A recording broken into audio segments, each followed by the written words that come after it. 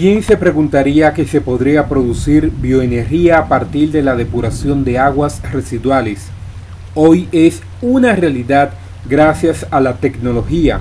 Es un proyecto de innovación de la empresa de gestión de agua Aqualia, financiada por el programa F7 de la Unión Europea. Aqualia es el Project Coordinator, el coordinador del proyecto, pero se desarrolla junto con otras seis empresas que tenéis en el, en el la Universidad de Southampton, BDI, Clean Algae, eh, MTD y Fraunhofer.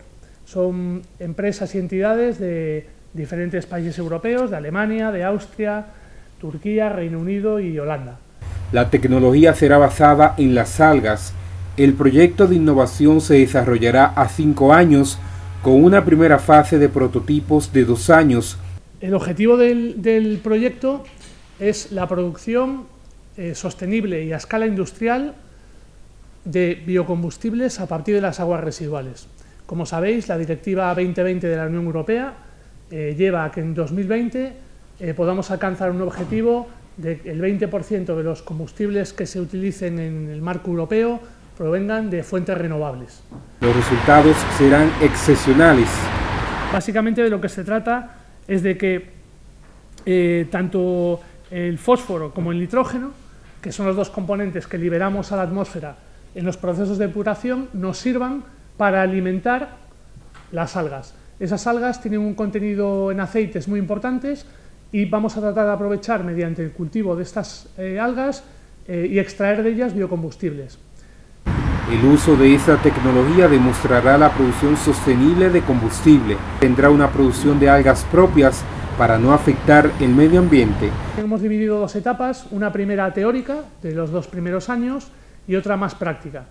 La parte teórica eh, llevamos ejecutándola desde un año y medio, eh, con lo cual en los próximos meses la daremos por cerrada y a partir de verano, por lo tanto, empezaremos con la parte práctica que es la más interesante, porque vamos a tratar de llevar a cabo en, Chiclana de la Frontera, en Cádiz, en la depuradora de allí. Ahora mismo las obras para acondicionar los tanques de algas eh, ya, ya se han comenzado y planteamos que el primer cosechado y cultivo de las algas sea a mitad de verano.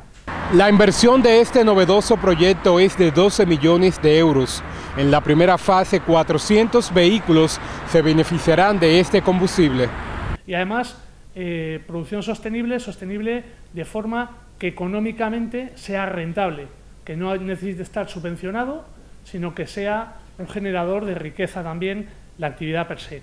Este proyecto ayuda a depurar mejor las aguas, que cada uno produce 150 litros de aguas residuales por día y que hay que colocar en una manera compatible con el medio ambiente y el subproducto de esta depuración sería energía u algún ingrediente para cremas de cosmética. Sin duda la inversión en tecnología, ciencia y salud beneficia en cada país que lo hace.